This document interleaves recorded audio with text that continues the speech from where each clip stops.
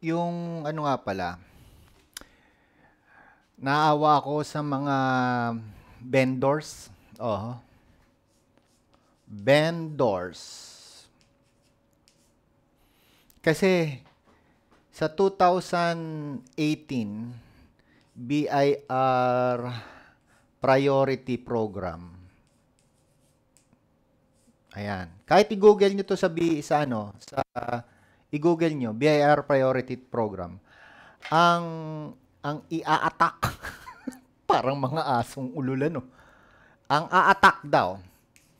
Okay? Attack itong mga vendors.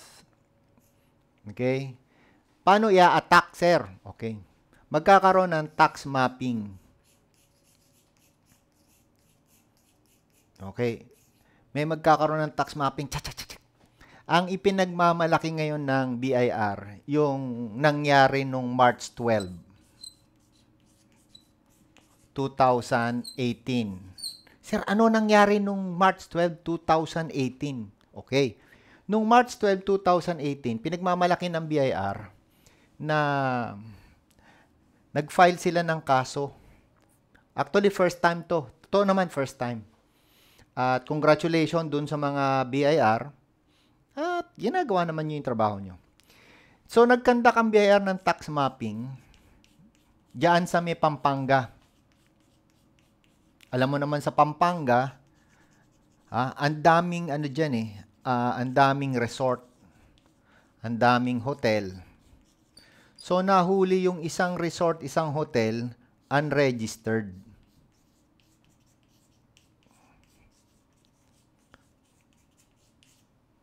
Pag sinabing unregistered, hindi nagbayad ng annual annual registration fee. At hindi nagbayad ng income tax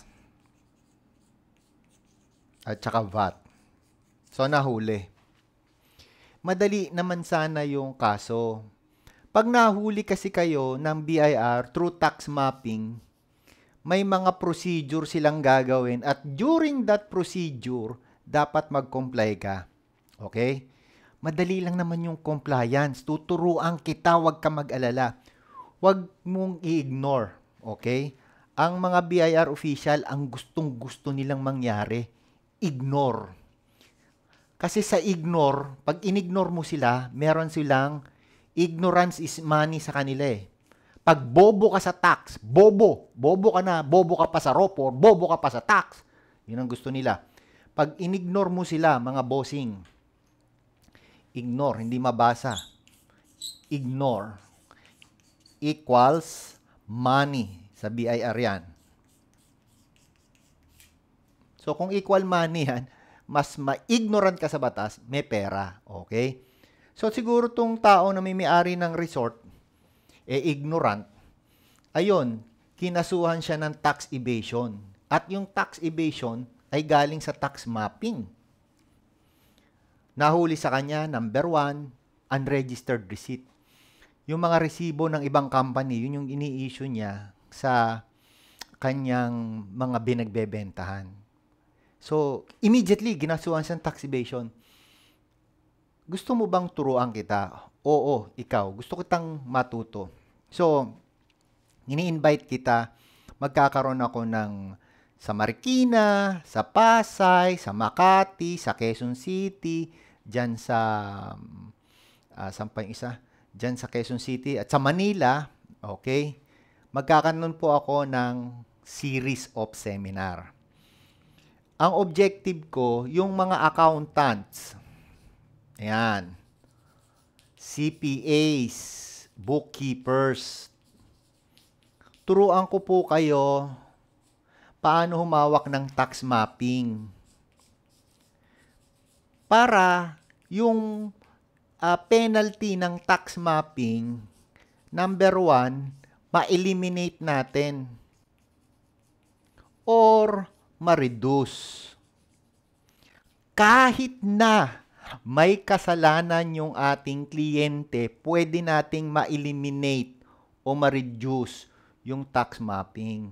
Nakakaawa kasi yung mga tao. Pag may tax mapping, nagsasara sila ng opisina. Nagsasara sila ng kanilang mga stores.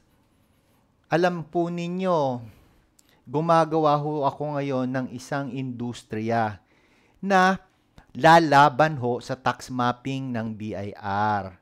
Okay. Ganito po yon sir, ma'am. Uh, magmi-meeting po kami ng mga iba kong consultants at i-offer namin sa inyo na pag may dumating na tax mapping ang BIR, kami ho ang haharap. Kami makikipag-usap. Aayusin namin ang inyong mga records, ang inyong mga uh, equipments, ang inyong place, ang inyong registration. Para kung magkaroon ng tax mapping, hindi ho kayo magkakaroon ng problem. Next, kung may problem ho kayo, kami ho rin ang haharap. Magkakaroon ho kayo ng very, very small amount na retainer sa amin, panglaban lang ho sa tax, am, tax amnesty. Sa tax mapping. Okay? Panlaban ho sa tax mapping. So, iniimbitahan ko ho kayo na umaten kayong mga accountants, gusto nyo maging magkaroon ng hanap buhay. Ha, kahit kayo employed, wala namang problema doon eh. Oo, naintindihan kita. Wala kang time. Magkaroon ka ng time kasi negosyo to eh. Okay? Konting time lang. Kasi negosyo to. Pwede kang sumama sa tax mapping apps. Ha, sa tax mapping apps. So kayong may mga problema sa buong Pilipinas, wag na ho kayong maglagay sa tax mapping. Sayang yung 5,000 nyo kasi hindi naman nagagamot yung problem nyo. Ang gawin natin, magkaroon kayo ng peace of mind. Ha? Tutulungan ko ho kayo pagdating sa tax mapping. Of, of course, meron ho tayong iba pang mga product na dinedevelop pero ang kinikwento ko ko sa inyo ngayon, paano hawakan ng tax mapping. Okay? So, present ko sa inyo yung ginawa ng BIR doon sa Pampanga para makita nyo, ha?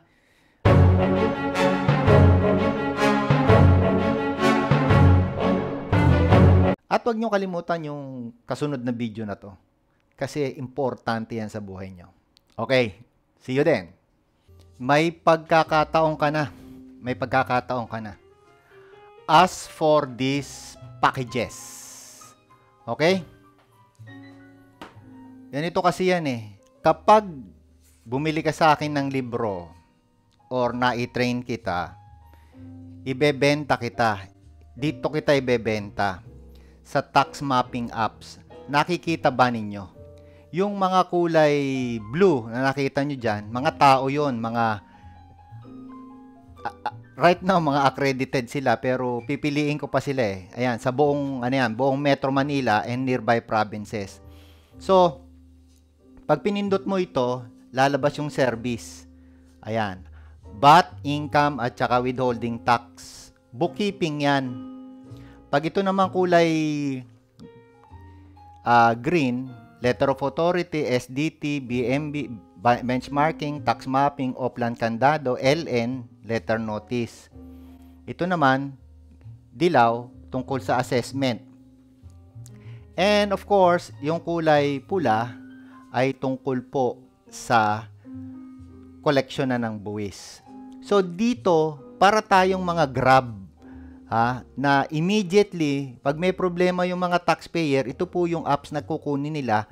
Makikita ngayon nila dito, ayan, yung mga available tax specialista na pwede nilang kausapin. Siyempre, babayaran po nila kayo. Ganun po ang mangyayari. So, ano sir yung tax specialista? Ayan, tax specialista. Walo ho yan, pero pito lang ho yung sinulat ko. Yung pangwalo ay eh, yung tax bookkeeping specialista. Siguro later on, magbibigay ako ng lecture about tax bookkeeping at saka ano pagkakaiba nito sa financial bookkeeping and uh, managerial bookkeeping. Paliwanag ko lang ito. Yung una is BIR tax mapping. Pag na-train kita, may libro ho kasi ko dyan. Okay? Ayan. Bibigyan kita nito. Hindi naman pala bibigyan. Bibilin mo to. Pwede kong pautang sa'yo. Depende So dito sa tax mapping, kasama rito yung libro para sa BIR lifestyle check at saka yung BIR open cases specialista. So isang libro, tatlong specialization kagad ang makukuha nyo. BIR tax mapping, BIR open cases, at BIR lifestyle checking. Yan. Pagkatapos kayong bumili ng librong ito, sinabi ko nga kanina, ilalagay ko kayo rito sa aking apps. Tax mapping apps nasa Google Play Store. Next, Oplan Candado. Tuturuan ko kayo ng Oplan Candado. Bibili rin kayo ng librong ganito. Okay? Uh, may packages tayo para sa OFW, non-CPA, non-lawyers, uh, dun po sa mga bookkeepers na gustong pataasin yung kanilang kita, sa mga accountants na gustong pataasin ang kita nila, sa mga CPAs na gustong pataasin ang kita nila, at sa mga employed accountants, bookkeepers, consultant, financial analyst, financial planner, financial advisor na gustong pataasin ang kita nila, ini-invite ko kayo na maging tax specialista. So sa Oplan Kandado na libro, kasama na po dito yung BIR inventory taking at saka BIR benchmarking. So, tatlo uli yung inyong specialist, specialista na pwede kayong kumita. And of course, meron ho tayong pang tax specialista, pang BIR letter of authority. Exclusive lang ho siya kasi medyo profitable po itong ganitong klasing negosyo. And meron tayong BIR subpina. Napapansin nyo may mga librong pinaplas dyan. Ah, bibilin po nyo yan para kayo maging miyembro ng tax specialista at pagkatapos po, ilalagay ko ho kayo doon sa tax specialista o tax mapping apps para malaman ho ng tao na kayo po ay nag-o-offer. So, meron po tayong mga special hmm, packages Very special sa akin ng mga OFW. Okay, mga OFW, i-present nyo lang na kayo ay talagang OFW. Turuan ko ho kayo na maging tax specialista at immediately maibenta nyo yung sarili ninyo sa mas maraming taong nangangailangan. Labanan na po natin ang BIA graft and corruption. Labanan po natin yung mga harassment, oppression, harm, at saka pananakit nila sa salita, pagto-torture ng utak, maging tax specialista po kayo. So, marami hong salamat at magkita-kita ho tayo sa mga susunod kong seminars. O sa mga taxpayer ha, kung meron kayong Bible, dahil unknown yung pupuntahan nyo, yung taxation din po is unknown. Kailangan po ninyo ito. Salamat po.